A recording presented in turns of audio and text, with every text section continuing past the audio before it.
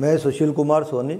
S W twenty four के सभी दर्शकों को नववर्ष की हार्दिक शुभकामनाएँ प्रेषित करता हूँ